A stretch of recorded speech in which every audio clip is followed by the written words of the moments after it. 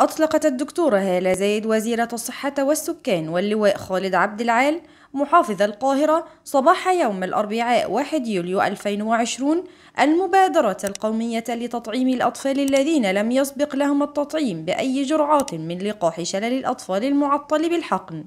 وأشارت وزيرة الصحة والسكان إلى أن التطعيمات الروتينية الأجبارية الخاصة بتطعيم شلل الأطفال كانت تعطى فمويا. حتى أوصت منظمة الصحة العالمية عام 2016 باستبداله بالتطعيم الفموي ثنائي التكافؤ مع إضافة جرعة التطعيم بالحقن وتعطى للمواليد عند الشهر الرابع من الميلاد طبقا لتوصيات منظمة الصحة العالمية. وأوضح بيان أن مصر لم تستطع أن تحصل على حصتها من لقاح شلل الأطفال بالحقن عند إضافته للتطعيم عام 2016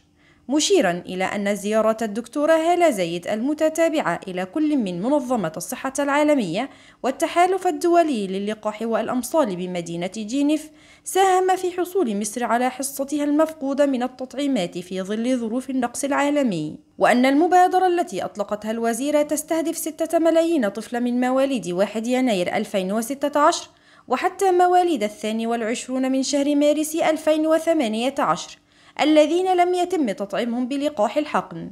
بعد إضافته لتطعيمات شلل الأطفال عام 2016 لافتا إلى أنه كان من المفترض أن تنطلق تلك المبادرة في شهر إبريل الماضي لولا جائحة فيروس كورونا حيث بدأت وقتها في محافظات شمال سيناء والشرقية والفيوم والوادي الجديد والبحيرة. مؤكدا أن استقرار الوضع الوبائي لفيروس كورونا في مصر بشكل كبير ساهم في إطلاق الحملة في كافة محافظات الجمهورية بشكل آمن. وأضاف الدكتور علاء عيد رئيس قطاع الطب الوقائي أن المبادرة مستمرة في الوحدات الصحية والمراكز الطبية ومكاتب الصحة على مستوى محافظات الجمهورية للوصول إلى جميع الأطفال المستهدفين وذلك من الساعة الثامنة صباحا وحتى الساعة الثامنة مساء.